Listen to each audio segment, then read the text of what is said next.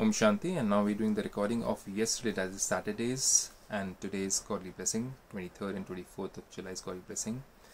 And here in yesterday's Godly Blessing, Supreme Father wants us to become an ocean of forgiveness. And that is going to help us and also teach others also a lesson. And that lesson is going to be a very sweet lesson for them and for us too. Let's explore this. What is exactly God mean to say by forgiving others?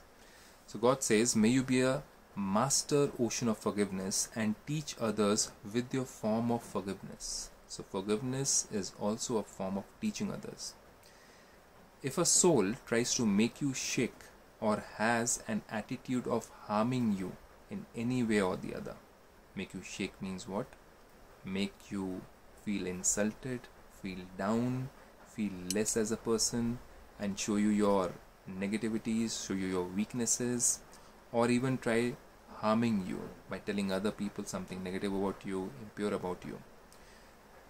If a soul tries to make you shake or has an attitude of harming you, transform or forgive that one with your attitude of benevolence.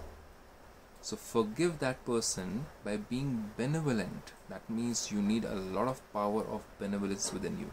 That you're able to do something good for them even if they're insulting you or saying something negative about you. If you're not able to transform that one, then become a master ocean of forgiveness and forgive him. That means if you're even showing benevolence and that person is still not agreeing to what you have to say, then become a master ocean of forgiveness and forgive him. Your forgiving that soul will become a lesson for him.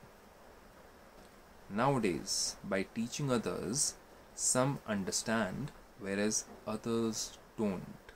So, if you try to teach them a lesson or you try to tell them that this is not the method, reform yourself, change yourself, and they don't do that, then the only method is to forgive them.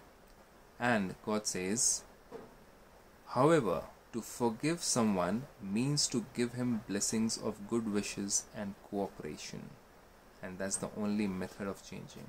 You can call it as a reverse psychology also, where if you get after somebody and tell them to change, if they don't change, you just leave them go 10 steps backwards and they start wondering. Because if you give them space, only then they can think about what you've said. But if you keep on breathing down their neck, they don't. So forgiveness is also a method of giving them space, telling what is right and what is wrong, and after some time giving them space and let them experience life, and sometime or the other they'll understand it faster. So this is what God wants us to do. Applying this knowledge is very important. Experiencing this is very important. But with forgiveness, you need a lot of patience with that person. You can't be like, okay, I forgive him, and the next day that person repeats the same mistake, and you're like, now I cannot forgive him. He's done the same thing again. So it needs a lot of patience, needs a lot of benevolence, needs a lot of good wishes and blessings for that person. And you can only give blessings and good wishes if you're giving them from a point of patience and humility. Otherwise, they are not blessings, they're fake.